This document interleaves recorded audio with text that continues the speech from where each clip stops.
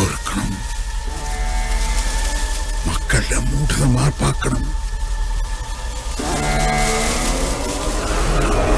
അത് loose contact ആയിരിക്കും. ഒന്നും ഞെക്കി നോക്ക്. ഒരക്ഷരം വേണ്ടി പോരുത്. മണ്ട ഗണേശൻ കണ്ണു തുറന്ന് നോക്ക്. അന്തരീക്ഷത്തിന്റെ മട്ടും ഭാവവും മാറുന്ന കാണുന്നില്ലേ?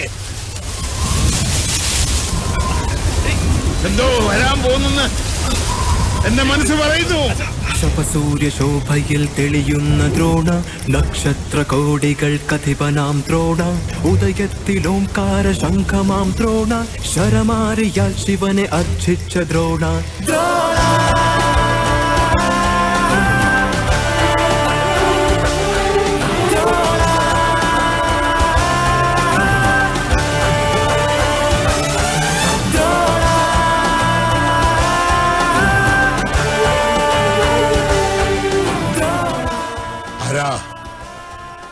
ഏതാ ഈ അവതാരം. പത്ത് അവതാരങ്ങളും ആണുങ്ങളായിരുന്നു.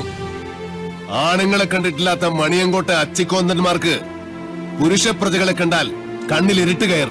പിച്ചും പേയും പറയും. മാധവൻ. പട്ടാഴി മാധവൻ. ഇയാളെന്തിനാ ഇങ്ങോട്ട് വന്നു അച്ഛനും മക്കളും വെച്ച പടക്കൊന്തേ പൊട്ടിയില്ലേ? രാവിലെ ഇല്ലത്തുനിന്ന് ഇറങ്ങുമ്പോ നെല്ലൂർമനെ കാറ്റത്ത് ധൂളിയാക്കി പറത്തിക്കളയാമെന്ന് വ്യാമോഹിച്ചു അല്ലേ? എനിക്ക് നെല്ലൂർമനെ ഇതുപോലെ കാണണമെന്ന് മോഹമുണ്ടെങ്കിൽ അത് തടയാൻ മാത്രം പോന്നവരല്ല മണിയങ്കോട്ട മണ്ണുണ്ണികൾ. മാധവൻ. പട്ടാഴി മാധവൻ. പട്ടാഴി മാധവൻ നമ്പൂതിരി. ഭഗവാന്റെ തിടമ്പ് പോലെ ചൈതന്യമുള്ള പട്ടാഴി മാധവൻ എന്തിനാ തിടുക്കപ്പെട്ടിപ്പ് ഇങ്ങോട്ട് വന്നത്? മന വാങ്ങാനോ? അതോ കുഞ്ഞുണ്ണിയുടെ കൊലേറ കാണാൻ?